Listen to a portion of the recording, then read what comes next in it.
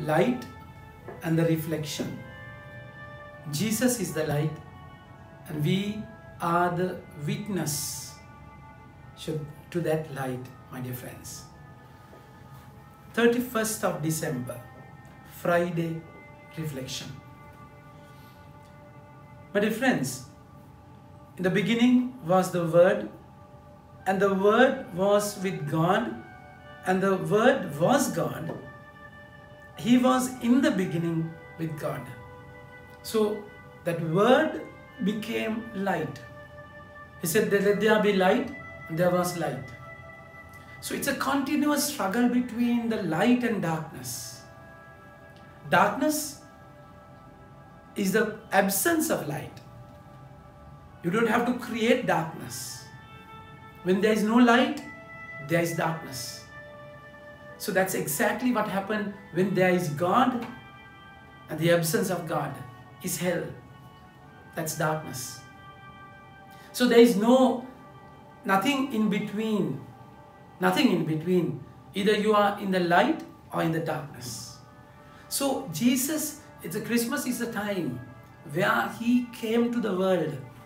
That word, logos, was there in the beginning, which created the world and was with the with God, and now the word is with us. Emmanuel, the true meaning of Christian Christmas, my dear friends. All things were made through him, and without him nothing came to be. Whatever has come to be found life in him.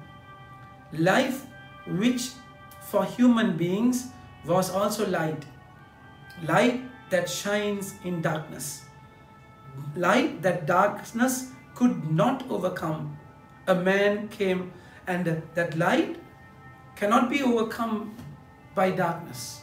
So that life, which was that life, word was with God, and word became life, and that life became light. So we are called to live in that light. And see the role of John the Baptist. A man, a man was sent by God. His name was John. He came to bear witness as a witness to introduce light so that all might believe through him. He was not light, but a witness to introduce the light. For the light was coming into the world, the true light was enlightened, that enlightens everyone. He was in the world, and through him, him the world was world was made. And very world that did not know him, he came to his own, yet his own people did not receive him. But all who receive him, he empowers to become children of God, for they believe in his name. So Christmas is a time where God became man, and that life was light in your life. So we we are called to be a witness, like John the Baptist. John the Baptist be a witness, like this mirror. Mirror reflect the light. Mirror is not the light, but then you you see you don't see the light.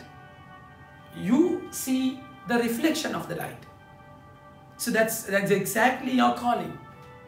Your calling the Christmas for, for you to experience the Lord Emmanuel, God is with you personally.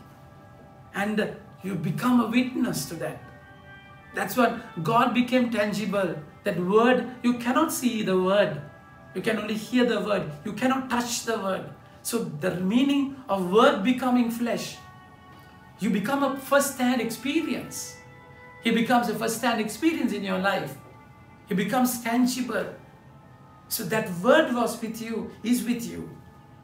And you're called to res, res, you're called to respond, reflect that light in your life. Because the world is a lot of deceptivity, cheating, pretense. That's exactly why the first reading says, My dear children, it is the last hour. It is the last hour. You who told that, that an antichrist would come, you were told that an antichrist would come, but several antichrists have already come, by which we know that it is now the last hour. So it's not so much on the point of Antichrist. You don't know how to identify. So it's it's it's a time. It's the end of time. This last hour, last hour for us is the last day in this year. Lord, we find a lot of antichrists. Christ came to came became the man. Jesus Christ. So Jesus took the form of a man. God became a man and he became Christ. That Jesus became Christ. So you cannot separate Jesus from Christ. So that's exactly when you separate separate God from man. The divinity of Jesus, Jesus Christ, from humanity. There is Antichrist. So the one who separates it, one who cannot identify Jesus as Christ, as God, is Antichrist. So world, world there are several Antichrists, my dear friends. Sometimes world is so much into pleasure, they negate cross. The moment you negate cross, it's the work of Antichrist. You become against Christ. You journey again away from Christ. My dear friends, it's, that's why we have to be very careful these days. The world is so complex. Things are puzzled. You cannot fathom things at a from the first glance. No. The world is so crooked. So there is so much deceptivity, cheating, pretense, as I said earlier. So you have to be focused properly. So you have to you have to identify the Lord in your life. The reflection, the mirrors of the world, like John the Baptist. He has to be properly, you have to identify the weaknesses of the world properly. Otherwise you can be misled by the friends. So it's the last day. Let's let's think back, evaluate yourself. Am I deceived by an antichrist? Deceived by deceived by a worldly point of view?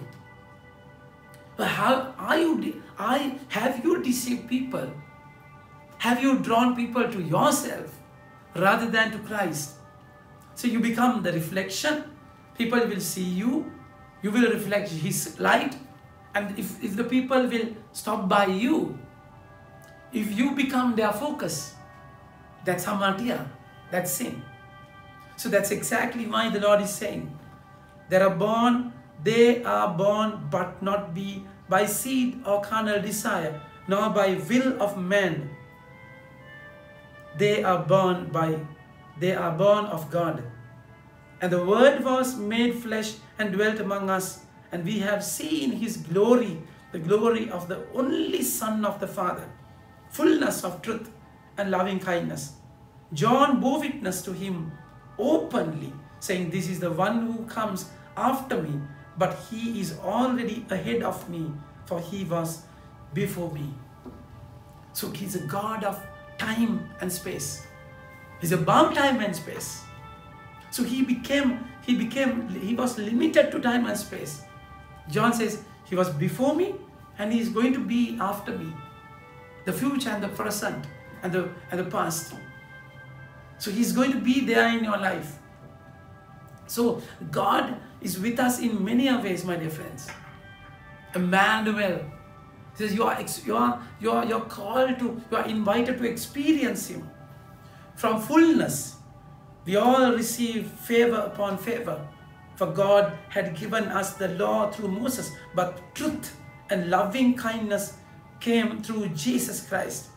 No one has ever seen God, but God, the only Son, but God, the only Son, made him known, the one who is with the Father. So, Jesus is a reflection of the Father. Jesus is the man became became who became God becoming man. And he's with you. He's in you. Let's experience him. Experience the love of the Father and be a reflection, be a witness to the world, to that light everlasting. Amen. May God bless you.